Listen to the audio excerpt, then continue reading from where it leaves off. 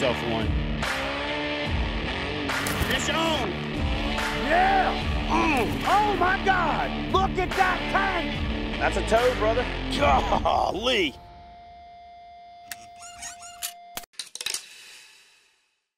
All right, guys, so for today's video, I've enlisted the help of my good friend, Gene the Flukemaster Jensen. This is one thing that I will have to admit Gene has more experience at than I do. He has helped out at Westbrook Supply, put together about three dozen of these. 100,000? I've put together three. Uh, I was gonna put together a fourth one, but John at YakAttack made me eat a Paqui chip and I was about to throw up, so I didn't even finish putting that one together. So I've gotten a couple more under my belt since then. But guys, listen, we're gonna, we're gonna do this for you. We don't read instructions as men. That's just how it works. Or even whoa men, because men's built in it. So we're just gonna walk you through how to do it. We're gonna show you some of the lessons we've learned along the way to make it easier. And uh, you can read the instructions if you want to. For example, the first thing the instruction tells you not to do is use the old power tool. But we know you're gonna use a power tool. So here's what we're gonna tell you. Use the power tool on the lowest setting. Make sure that it's not gonna strip the screw out. And just make sure you finish it up with the old fashioned twist operated manual screwdriver so you don't mess up your awesome BlackPak. So without further ado, man, let's get these things out the box and get to it. So first and foremost, Be organized. save this box because it's a really cool box. Take these instructions and like I said, just kind of toss them over to the side. What you're gonna do is you're gonna take these bags out, these contents out. We're gonna set these rod holders over here on the ground, just like so. And then we're just gonna go on and get out the old core of the BlackPak. Put this sticker somewhere safe, like back in the box, because you're gonna wanna use that. We're gonna be doing some giveaways this year with some YakAttack stickers for some YakAttack prize packs. So stay tuned for that. But anyway, take this box and like I said, save it because it makes a really cool box. So Gene, what's your recommendation on where to start this whole project? Well, what I always do is I pull everything out, Okay. kind of lay it out so I can see what it is. And I've done it enough times so I know what's in the bags. But you have hinge parts, you have a bunch of stuff in kit C that you want to get to kind of towards the end.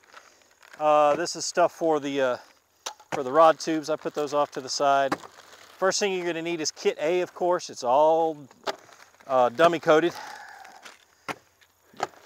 D, and this should be B. And so you're going to start with A, B, C, and D.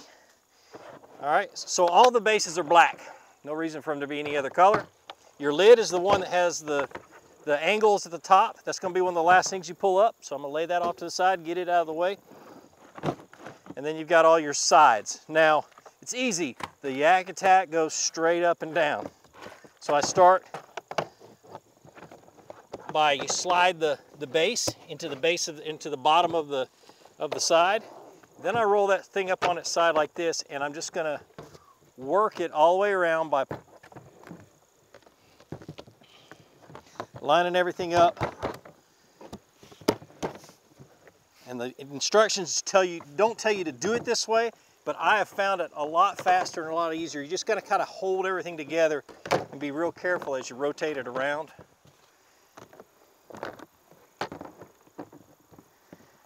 keep getting my shirt stuck in it. I'm doing something wrong. And once you figure out how the first one goes in and then the second one goes, uh, snaps into it, then it's pretty easy. But then with the last one, you flip it up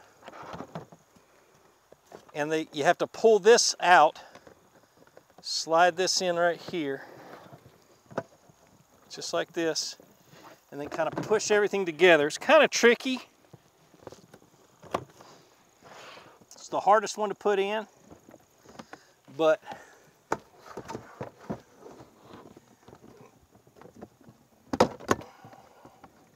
it's actually really tricky. There we go. Slide that in. Maybe if we you followed the instructions, it would actually go together better. No, it goes together. See, I've got it together just like this, okay? So, it, of course, it's gonna fall apart if I shake it too much. But this is why I say this is faster. Once I have it all pretty snug, I just grab a handful of screws and I start dropping the screws. Just a little quarter turn to hold them there. What the hell did I do wrong? I just drop the screws in the holes. Making Chad look bad now. That's fine. We already prefaced this by saying Yep. you've done this quite a bit more than I me. stopped short. Mosquitoes love me, by the way. Um, By the way, if you're ever going camping, invite Gene. Gene is the best mosquito repellent on the planet. yeah, they all find me. They, they think he's sweet for some reason, and they will. You will not have to mess with a mosquito the whole time you're camping because they will all go after him. But you notice how, and this is a new drill, so the so the uh, torque on it is not, it's too tight. So I don't even get close to having it tightened down. I do that all with a screwdriver. While we're doing this, I'm gonna tell you guys a story about camping with Gene. I'm sorry, night fishing with Gene. I go night fishing with Gene one time, Gee. and it sounds like somebody's having a meat slapping contest over to the side. And I said, dude, what is wrong? Because we don't fish with any lights on. I said, dude, what is wrong? And Gene said, dude, these mosquitoes are killing me. They're not killing you? I said, dude, I have not been bit by a mosquito all night. And I was like, are you serious? He's like, and I can see him in the moonlight, just yeah, yeah, yeah. So I turned my headlight on, and I'm not kidding you. It, he had mosquito bodies just all on his neck, all on his face. It looked like somebody took just mosquito makeup and just stuck it all over his face. He had whelps everywhere. I was like, I've literally not gotten bitten one time. This dude looked like he had been mauled by like angry mutant mosquitoes. I got that sweet blood. That's what it is. All right, stop for a second. So just like I'm these other knuckleheads out Okay. there that might be having a problem, I got to the point where I just didn't, Yeah, the it hard wasn't part. coming together right. What did so I do wrong? what you want to do is I got to get it turned the way I normally put it together, which is like this. Okay, All right, so that's like this. And I have I pull this part out okay, slide it and in. no, then- drop this in here. okay. This is real world stuff, Oh, people. it's because your back end's not. huh? Hold on, you're totally out of wonk. Out of, You, So if you start wrong, yeah, he completely wrong. started wrong. so let's run through your startup process one more time. Okay. That way the folks So what I do is Okay. you, you see this little piece right here? Yep. You got to make sure that piece goes over, and that's where you start. You started wrong. So pro tip, Yep, you started wrong. Let's show this a little bit closer. So the first thing you got to do is when you get ready to put that piece in, you got to take this little notch right here and line it up with that little groove. And every that way that's flush. And every single one of them goes like in that. like that. Yep. Cool. So Once you do that, once you do that, you should be able to do it all the way around. Should be able to drop that there, and it falls right into place. and then just rotate it. Rotate it. Bam. Again, just like your paddle has the decal right side up, for all Yeah. you upside down paddlers out there, just go with the YakAttack facing up. Yep. And so with this And one, then like Gene said before, when you get that last part of yeah, watch what I'm doing here. So this is together like this. I just pull this out, drop that in, and then snap that back in, and it's ready to screw together, cool, cool. Just Now- like that. Pro tip number one is when you get your hardware bag, don't take all the hardware out of the bag because it ends up rolling everywhere. Take them out of the bag as you place them into the BlackPak. Pro tip number two is as you're doing that, literally just do a little finger turn just to barely get them started, kind of like Gene's doing over there, and just kind of start each one. That way they don't end up falling on the ground. You're out here in the grass, you got to find it. Rolls up under your truck in the garage, you got to do a belly crawl. But you want to put them all in first. That way you don't have to put one, pick up the drill, put one, pick up the drill, put one, pick up the drill. You know what I'm saying? So once you do this on one side, you just drill them all in and then you go back and do the exact same thing on all the sides. And this whole process will go a lot smoother. Because honestly, guys, we want to get to the good part at the end, which is the customization part, which makes this BlackPak Pro so awesome. Now, you got it finger started. Once you put your bit in there, just kind of line it up. Okay, like I said, have it on the lowest torque setting. And what I like to do is just as soon as it touches plastic, I just stop drilling. I don't even wait for the torque setting to kick in. But again, I've done this. I've rigged a couple thousand uh, kayaks. So if you're even a little bit leery about it, do it with the hand operated screwdriver. But you guys just heard that clutch kick in. Again, just like so. See, my clutch is stiff enough, it'll And the biggest the problem is you got to make sure that you line that screw up because if it kicks out to the side, you're going to have a problem, and then that screw's always going to want to find that channel. One of the cool things about the BlackPak Pro and this whole gridlock system is, is as long as you run the screws in these holes perfectly, you can always reconfigure, re-reconfigure until you find it exactly the way you want it, which hasn't been the, the case with pretty much any other product out there. So Now, I got one like I quick. said, you're gonna take these screws and fill them in there. And while I'm doing that, Gene's got another pro tip for you. So it always comes with a couple of extra screws. And as you're drilling in, pay a little bit of attention. If you start to drill, let me do it this way, and you see your, see that start to vibrate or start to rock back and forth, you got a bent screw. And it happens. There's no, I mean, quality control is what it is when, when you talk about screw companies. So you always have an extra one or two of them to fix that. Oh, I just used the same dang screw. Let me get it. And go. a- another tip is like Gene said, if you get a bent screw, realize that the screws that come with the tubes are the same. And most people aren't gonna put all the tubes on anyway, so you got Yep. a little extra screw set up there too. Yep. And just like that. And then I'm gonna tighten everything down with the handheld. All right, so the next step, and this is according to the directions, but work on, the, you gotta put the, the rubber feet on. Rubber feet come with screws and in the in bag, in the B kit, you'll get the rubber feet. Why that screw is in there, I don't know. And then Extra. these go with the lid, so just kind of put those off to the side for a minute. And you can see how the rubber feet go together. They go right in the corner, and I just snap them all down.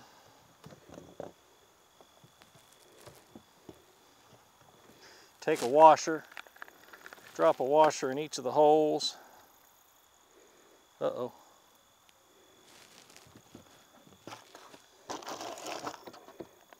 We are missing a washer. I got gypped a washer. I got one in my truck. Oh, no, I didn't. It's right here. I dropped it. I didn't get gypped a washer. Trying to make like YakAttack look bad. I'm like, wait a minute. That's a, I've never had that happen. no, they've probably got the best QC in the game. Oh, yeah, no kidding. Yeah, I the wish they could get with together. furniture and electronics companies and get their QC dialed in like that. Yep.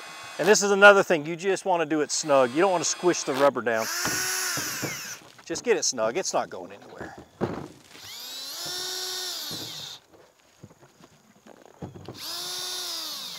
So like we talked about in the beginning, guys, one of the things you don't really have to worry about too much with YakAttack is the friggin' instructions, even though they worked really hard on it because like Gene said, the kits are labeled. It's like Barney proof. It's like kit A is first, kit B is second, Chad proof. kit C is third, you know, and so on and so forth. So it's literally straightforward. All right, so the next thing we just want to put the lid pads in. I don't know what they're called, the technical term, but they're they silence the lid when it to keep it from slamming.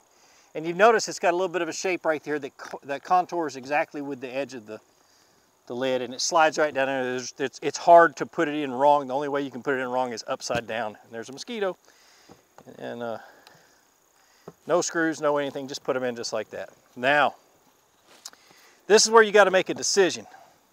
We're going to start putting the hinges together, and we're going to do that first, but you want to decide which orientation you want the lid. Some people want the USA to be, and you open it up, be up like this, and some want it to be that way or whatever. So you make that decision. First decision point, and since this is actually Austin's BlackPak, we're gonna get the guy behind the camera to tell us which way do you want this BlackPak to open?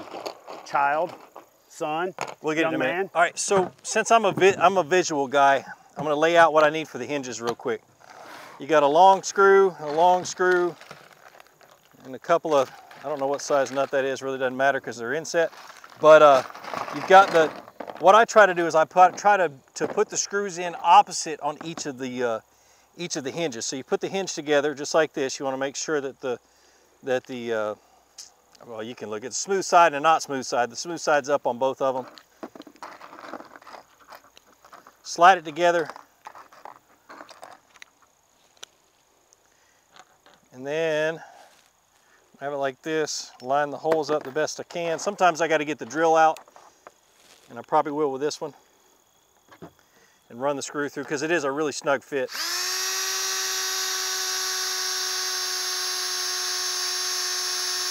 Get it to about right there. Drop the nut in, hold it with your finger. And then just get it started. And I've got it this way with the, the and I'll explain this later when I'm when I put it together. But I've got the screw going this way, or the and then the other one I'm going to have it going in this way. Yeah, opposite. basically you want the nut on the outside on both sides so you can adjust your You want the screw on the outside. I mean the screw. Yep. Nut on the inside. Just remember you want the nuts on the inside. You always want to keep the nuts inside. You don't want them out in public. Just remember the nuts on the inside. And then that way you can adjust your tension of your lid opening and closing. But we'll, we'll review that again in a second. I don't want to review that. We do. The lid part, not the nuts part, silly person. You gotta admit though, that's a pretty good mnemonic device, which will help people remember it, Yep. especially us males who tend to be. Do not want to review where Chad places his nuts. Oh, that's funny. It's like Beavis and Butthead. he said nuts on the inside. All right, so here on the top, you've got the holes that are all set up for the hinges. So you've got to, you can put the hinges on any side that you want to. Austin said he wants it like this. Now, if you notice visually, Now explain that one more time because here's the reason. yeah, You can put the hinges and the latch, which means that that's going to determine which way it opens. right. So then you also have to think about where you want your rod holders because if you decide to put your rod holders, so again, you just got to think it out a little bit in Yeah. advance. So Yeah, with the 16 by 16, it really doesn't make much of a difference what side you put it on. Some people are just picky about how the, the stickers look when you open up the lid. But when you got the 13 by 16, uh, that's when you really got to decide which side you want to put it on and how it's going to open. When you put the, the rod tubes on and, and the, and the uh, handles and stuff, that's when it's really going to make a difference with the 16 by 16. But if you look, we've got a small side and a large side, okay? Don't know, again, I'm not going to care too much about technical terms. Inside, just remember that the circus is the big top, so the big one goes on top. if you put it the other way, it ain't gonna work and you'll just have to flip it around because that's how gridlock works. So just remember, there's a small side and a big side. The big one goes on top. Yep. Like the circus, the big top. Gene, did I ever tell you I almost joined the circus one time? I am not surprised 100%. He, he They invited me to be the bearded lady until they figured out I wasn't a lady. So that was the end of my circus career. Did Any of you guys know Gene used to be an opera singer? Hit a, hit a note, Gene. nope, Come on, man. nope. Do it. I leave my singing for church. Well, I would just say to this, for those of you that haven't heard it, Gene has an angelic voice. I make old men, I made grown men cry when I sing. I have too, but they're crying for me to stop. it's like I had a brief career as a male stripper one time. Oh no, here we go. Made really good money. They, uh, they actually paid me to put my clothes back on. And uh, it was a Southern Male revue. A lot of you guys maybe have heard of um, Chippendales. Well, I was in a Southern Male revue called uh, Biscuits and Gravy. we used to tour with the uh, same troop from above the, uh, the border. Those guys were called uh, Canadian Bacon. What? Look what I just did. I just talked all that smack And you put it in side. and I put the thing on the wrong side. Well, you know what? This might be my right side blind side. No, just switch them over. That's what's nice about it. Gridlock. You can just take them off. So and switch 'em over. again, I put the thing on, worried more about telling a joke about Gene singing than I did putting it where I really wanted it. So now I'm gonna take these and move them over here. Nope, you just undo those three and rotate your lid. No, because I got my Made in USA rotate wrong. your lid. Leave this here. No, but it's gonna be this way I'm- instead of no. this. Take those three and these three off and rotate your lid. Oh, the, I thought you meant these three. No, okay, I, I see what you're saying. Mm-hmm. Look at the big brain on Gene. Golly, it's because I've done it. Not not bad for a. I've He's speaking from in, experience. All right, so what we're looking at here is we've got to install the top of the latches. We're going to get to the bottom of the latches in kit D, and there's a reason why it's a separate kit. I'll tell you in a second.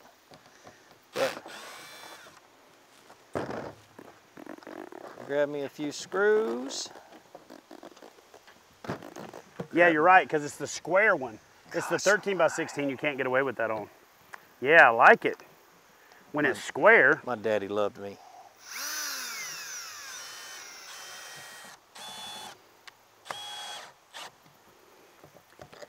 I don't know if you know this or not, but my drill won't put the screws in in reverse. I don't know if yours works that way or not, but I don't know, but I just scratched Austin's lid. Sorry about that, bro. So kit D, the reason it's a separate kit, but it's still part of the latches, is the screws that you use for kit D are smaller than the screws you use for the top of the latches. So you want to keep those separate. Okay, and now, you got to dry fit this first. Okay, so sometimes when you when you want to put your hinge in a, a few different places, you've got to flip flop this until it mount lines up with the screws or with the holes with the with the boss hole. What are they called? Hmm? Boss. the screw boss. Screw bosses. On the, well, Yep. the screw boss is this part on the back side. Yeah, yeah, yeah, yeah. So the biggest thing is you got to make sure that this slides in before you snap it down. That way you've got, it'll, it'll rotate for you. Okay? And then I take and slide, put, hang it. Line up the hole. Just snug it down.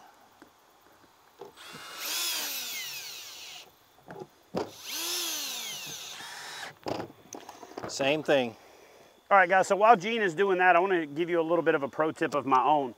As you notice here, Gene is setting Austin's BlackPak up where there's two latches, one on each side. Just because I go into and out of my BlackPak quite a bit, what I've opted to do on pretty much all of my BlackPak configurations is to just not use one of the uh, latches and just put the single one in the center. And then when I match that up just like that, I've only got to reach back and push down on one and pop that off. I think it holds the lid just as good. Uh, obviously that's gonna be a little bit more secure, but uh, I'm a big fan of just using one in the center. But again, that's the great thing about the BlackPak Pro is you can make it yours. All right, so the next thing is gonna be the Omni hook clips. And because of the old BlackPak, you guys that have used it and everything else, you're automatically gonna to want to put your Omni clip, clips all the way up at the top, and a lot of people do. I would suggest you play around with it. Like with my Bonafide, I actually put mine halfway down. And I'm, I get plenty of hold from the Omni clips and the bungee cords. I have to tighten the bungee cords up a little bit, but it, it just gets the bungee, bungee cords down out of the way and I can put more things alongside my BlackPak in my kayak. It makes more You know what, room. that's actually a good point. I'm actually making this one for the Old Town Autopilot, so I'm not gonna just automatically put them on there. What I'm gonna do is throw it in the boat and Yep. fit it first to decide where I wanna put those clips. And hey, you might even opt to not put them on there. Well, know? Austin, are you putting these on a Bonafide? Absolutely. And I'm gonna put them halfway down and you'll be happy. Because I'm the man. So I'm gonna go test fit this in the boat to determine where I'm gonna put it, and I'll be right back. You just gotta make sure that the hook part that's gonna hold the bungee, because a bungee cord will also strap around this, you just gotta make sure that hook part right there is up, is when, when you put it on. So I gotta rotate this a little bit. Okay, we're gonna go about, eh, not quite halfway down, we'll go down three, three holes. Start the screw.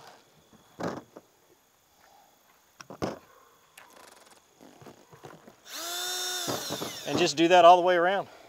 And if you only want to use two of those things, the what are these called? Omni hook? Omni hooks, yep. These are the Omni hooks. Well, these are the Omni Anyway, hook holder. uh, yeah, whatever. But the handles also have a slot that you can slide the Omni hooks into on your bungee cord. And so if you want to forego two of these for some reason, like I have, Actually, they also use the curved hook that most oh yeah, the- Bonafides have. yeah, on the back of the seat. that back seat back holder actually works with the handle too. Yeah, but the Omni hooks, these are come with Bonafides, but they can. That's why they, the kit comes with four, so you can put them on whatever kayak you have. But it all, they just to so you know, it took me about uh, two months to realize there was a place to hook one on the handle. But we're going to put these handles on last. Well, it didn't take me two months to figure it out because I was involved in It coming was up with the it was design. Chad's and idea. I was like, hey, maybe we should put a hook in that hole. Because John actually was, in the hole. John was like calling us last minute. Do you think this thing really needs a handle? I'm like, Yes, I remember yeah, that. I do. So then we went into DEFCON 3 mode on designing the handle because it was literally last minute. But what that also tells you is how awesome YakAttack is at building stuff. They build their own tooling, build their own molds, have their own injection molders, so they can make those last minute adjustments to make sure that the consumer walks away with the best product possible. For Austin, he's kind of like me. He opens his from the side, and so this can, this is the back, and this is going to be the side. I try to avoid putting any on the side where the hinge is, unless I totally have to, because they'll actually bump the hinge and hold the hinge up at about right there, which is no Now, big deal. Now, pro tip, you can put a little rubber spacer Yeah. to push it out. That's just something that doesn't come with it, but Yep. if you really want to, You can space you can it put out. a little couple of spacers. You need about three quarters of an inch. Yep, yep. All right, so here we go. All right, I'm gonna show you how to prep the, the rod tube with the tethers. Because these are called tether tubes because they come with tethers. All right, so if you notice in here in the kit, we have some of these little bitty plastic pieces, smaller quarter inch screws, should be six of them because the kit comes with six, it's come with six tubes or five? Six, Six. Six for the 16 by 16. Yep. Four for the 13 by 16. Okay. And four for the 13 by 13. All right, so the first thing we're gonna do is we're gonna assemble the hook. And I'm just gonna do one on video and then I'm just gonna do the rest of them. Okay. Tie a knot in the end of your end of your bungee cord.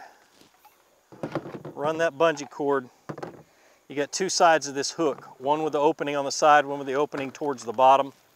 You want to go in the opening on the side. Run it down. Okay. I'm lay it out right there. And I'm gonna take this little hook and that little hook falls into this little slot on the bottom of the rod tube, just like this. Okay? And there's enough space in the base of that, and you'll see in a second, where you'll be able to just run the bungee into it. Bring it down, tighten it up,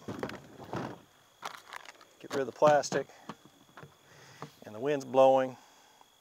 So I take and I run the bungee cord down here, and you can go ahead and tie the knot on there, on the end, even before you run it through that hole. But I like to do it after I run it through the hole. Just makes it just a tad bit easier. Pull it in, pull it tight, pop it into that into that hook. Well, maybe I was wrong. Let's loosen that up a little bit because I thought you'd be able to do that, but that's not. That's how you do it. But uh, I can loosen it up a little bit. All right, so yeah, you do have to leave it loose. Loosen that up a little bit. No, you can tighten it down. I tried, but it didn't go in. I may have tightened it too much. Okay, so I want you to look right here at the end. There's just a little slot with a divot in the top of it, and that's where your knot's gonna rest. You just slide it in. It's all put together. I'm gonna give you guys a close-up of that right here. Let me do it the right side up. And that's basically what it's gonna look like at the end. Really simple, easy, and this is your tether for your rod. All right, Did now you go through the main hole or through the side hole? you go through this one. You're doing it backwards. Hmm. Okay, go ahead and run this through your hook first. Okay. You're gonna go the other way, down through that little hole. Okay. Now run it through that hole. Tie your knot in the end. Already tied it. Nope, this end.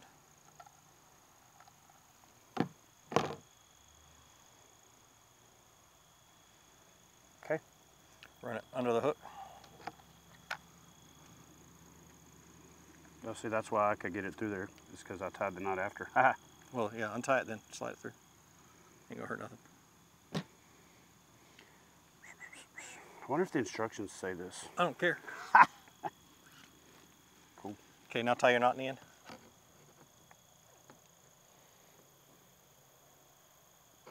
Okay. You'll run it up to that notch and pop it in So- the notch. Basically, pull it around, Yep, pop it right in that pop it little in that little thing, and then Okay, pull, it down. Pull it down. You don't have to pull it tight, just pull it down. Cinch it a little bit. Yep, it'll. Boom. All right, Gene, show them your pro tip on how to, or Oh. while you're doing that, I'll show them the pro tip. Okay. This is a Gene pro tip though, just so you guys know. So with these magnetic drill bits, makes this thing real easy to install these rod holders. too just short. It's basically too short. You need it. a- you need a longer Oh, bit. That's what was wrong with my little thingamajigger. So let me show you. Ah! I'm gonna show you on Chad's box. Give me a screw. You need a longer, You need a longer bit. I came up a little short, guys. The last time I did this, I had a little All right, so the extension. biggest pain in the butt with this is getting the two screws in the center holes through the little bitty holes right there and keeping them there. So my trick is to go ahead and load this one like this and then put your finger on the back and hold it. Grab your next screw. I can actually do it laying down, but anyway. And mine are not magnetic.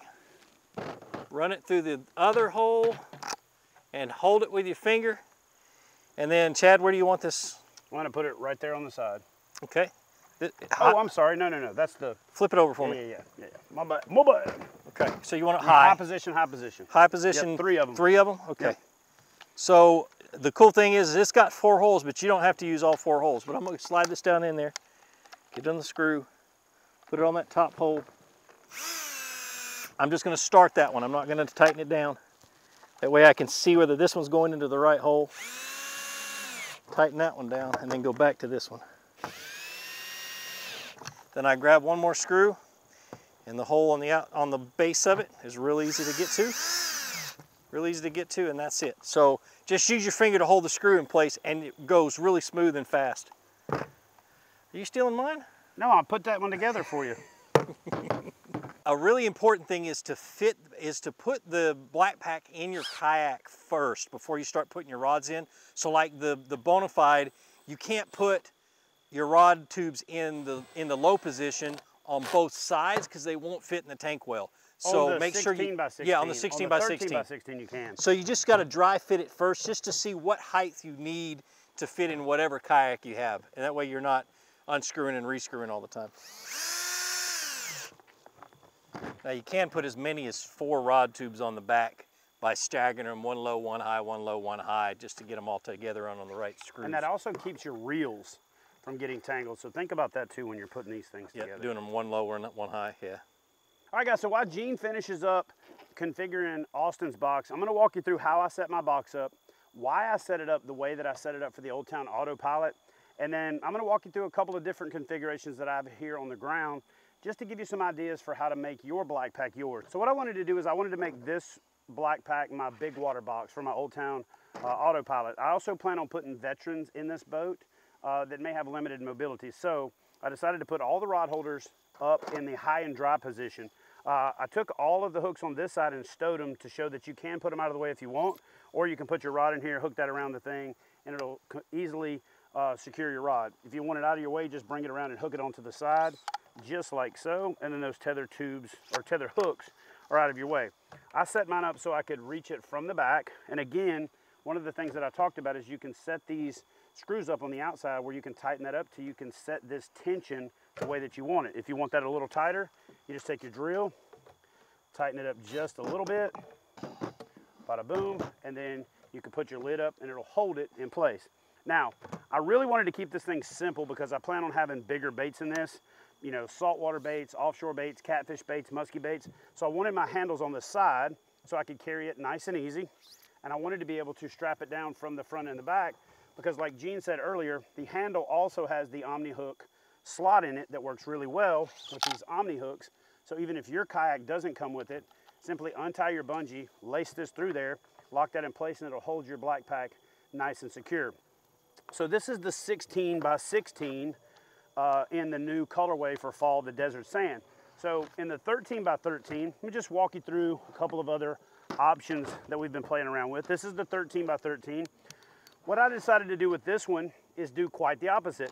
This is called the high and dry position. That's where you put the rod holders down to where they actually keep the box off of the bottom of the boat. In particular, I'm gonna be using this in the Native FX12 so I wanted it to actually kick the box back a little bit. Same thing, simple rod holder, single, oops, sorry, single location in the front.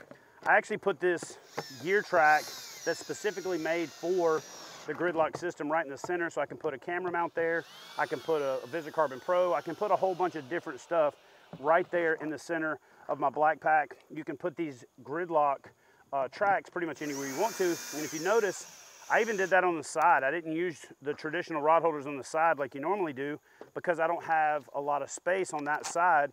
So I just actually used the 12 inch track, put a 90 degree bracket to the Omni hook or to the um, YakAttack base and then dropped it in place and that's what it looks like without the rod holder on it.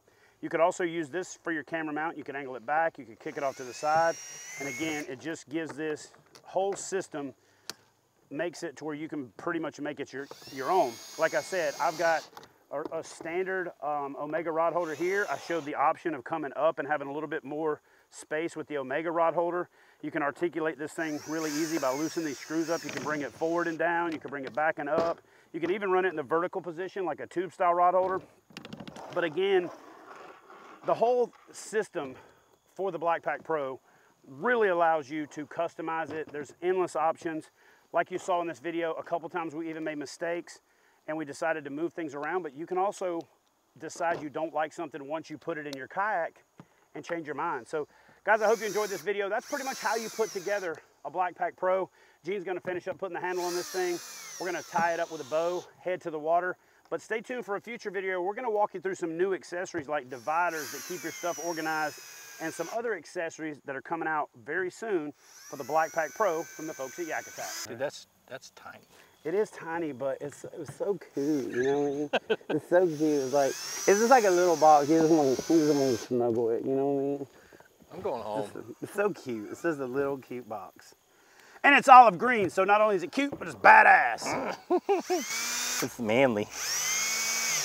Manly, manly man.